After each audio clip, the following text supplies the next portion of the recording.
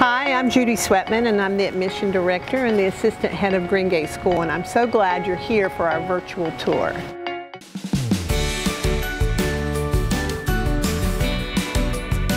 Greengate students are integrated into the Randolph community and particularly in the carousel classes. Music, art, world languages, technology, and science lab.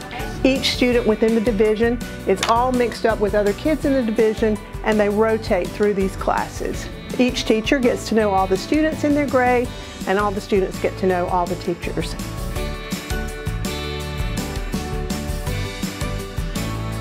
All of our Visitors love to come in and see what kind of things are offered to our students in Science Lab.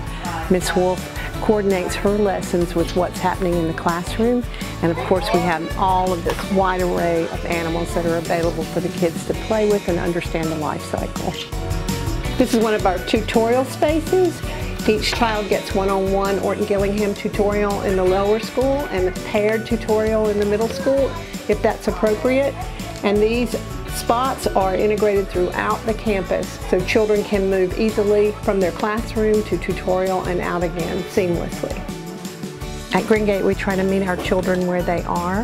One of the first things children are taught is to do cursive handwriting that helps eliminate a lot of reversals and it also that automaticity once they're able to write fluidly it takes out some of the demand on their working memory so you'll see that the art, we may have fewer things listed, but we do a curriculum that's similar to what they're doing on the Randolph side.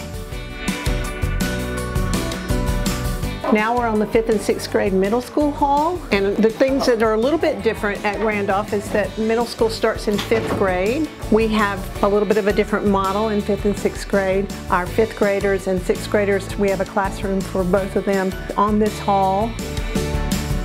Now as we end the tour, we're back in my office and I'm here to answer any questions you might have about the Greengate program, what comes next, what you need to do with testing that might be available, any questions that you might have, and a discussion about what your goals are for our program.